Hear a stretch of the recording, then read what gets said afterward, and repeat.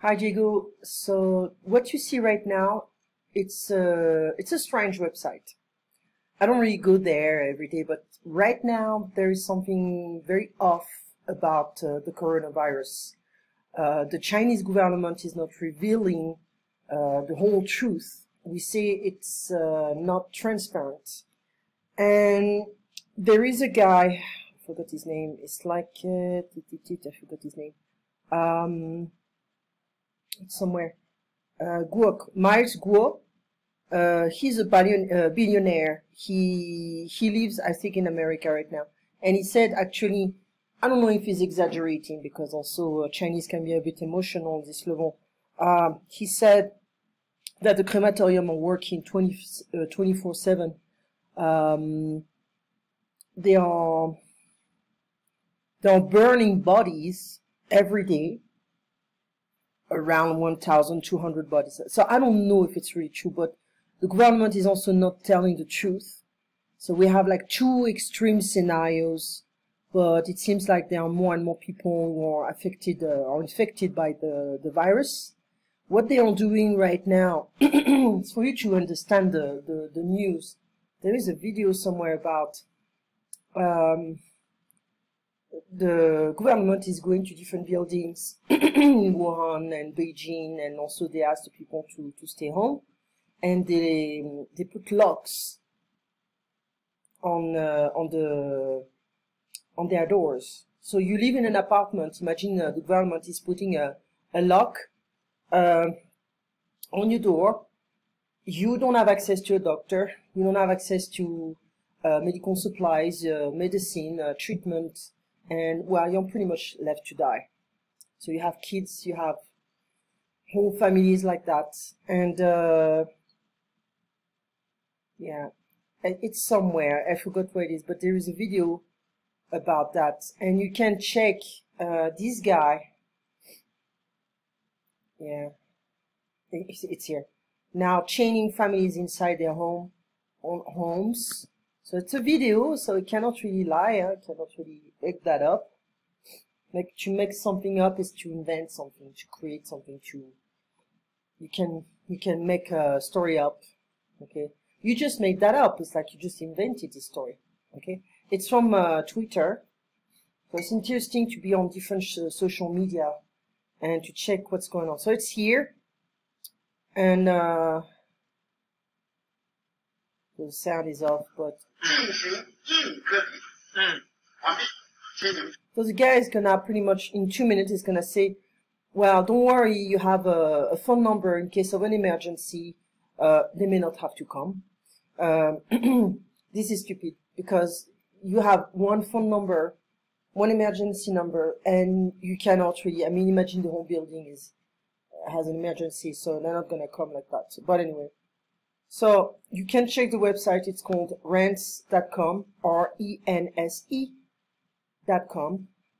Okay, and uh, so now back to the phrasal verbs. I, I want to share this kind of stuff because I have a lot of Chinese students. Right now, I have two. I used to have them at uh, 5 a.m. and 5.30 uh, a.m. Um, they took a break during the festival, the Spring Festival, which is like uh, Chinese New Year. And uh, and December 17th, this is when uh, coronavirus started to uh, to break to break out, and uh, so they I didn't have any news from them. So I don't know what's going on. One one student works at uh, the Beijing hospital in the pulmonary uh, section, so she may have a lot of a lot of work because this virus um, can affect also the lungs. And she's working in this section, so I mean, she she's a specialist.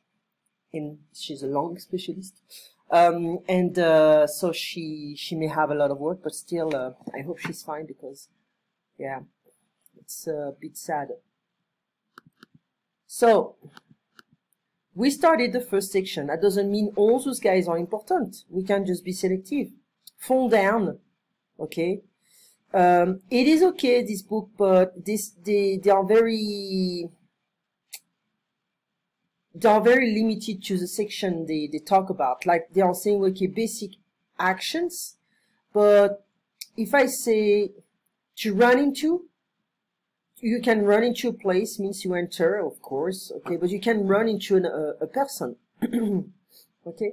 So I think I may use something else. Let me just check. Um, so there are many, many, many phrasal verb uh, books. Many of them are not good.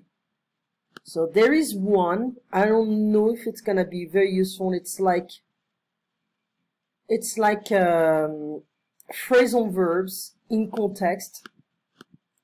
So I have another one like that. Drawings are very bad, but I think it would be good.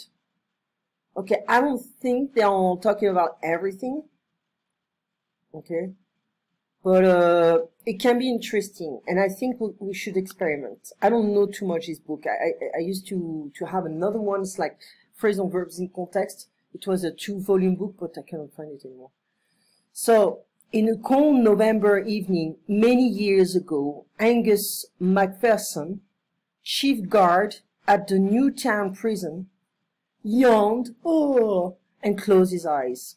Angus had had, I think it would be good actually, because it's gonna give you also uh, a real context concerning dialogues and interactions with people and description as well. Um, a long and tiring day and now, as a clock struck 11, the three platefuls of spaghetti bolognese, it's like a tomato sauce, he'd enjoyed at dinner were pulling him towards the deepest of deep sleeps. Wow, that's a lot of pasta, especially before going to sleep. I'll just have a little nap. All the cells are locked, and everything's quiet. I'm sure nobody will mind if I nod off for a while. Nod off is not completely sleeping. This is a bit sleeping, but lightly sleeping. Angus, Angus stretched out on the wooden bench and tried to relax, but for some reason he couldn't get up to sleep. Then he had an idea. I know what, the, what the trouble is. It's this belt of mine. It's much too tight. He rolled over, took off the belt, and dropped it onto the floor. Ah, that's going to be good. I think it's going to be great. So let me zoom in because even with my glasses I cannot see. A few minutes later, the stone corridors echoed to Angus Macpherson's unmistak unmistakable snore. So snoring. In the darkness of cell 269, Frederick Carruthers, a bank manager who had lent himself $250,000, was planning his escape. If I could get the keys off Macpherson's belt. I could slip out through the side door, run across the yard, jump over the prison wall, and be back home for breakfast. but how do I do it? Just then, he caught sight of Angus' belt lying on the floor. The keys he's just dropped. He has just dropped the belt with the keys. This is too good to be true. He tiptoed you know, he was walking on his, on his toes to the front of the cells and looked around. There was no one about. He took a deep breath. He then softly and softly and slowly he stretched out his hand, picked up the belt, and lifted up, lifted back through the bars. Well, this is great because you have a great context, and I think it's uh, yeah, I think that's to work better. So here, complete the following sentences using one of the words below. Breakfast, bars, floor, wall, keys, cell, belt is done. Uh, to breathe, door, yard.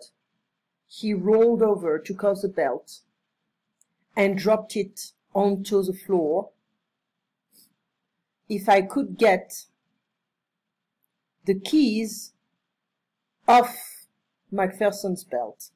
I could slip out through the side bars, I guess is what he said. Through the bars, sidebars, I guess. Hmm. Um, run across, so we said bars, floor, the side wall, I guess. Run across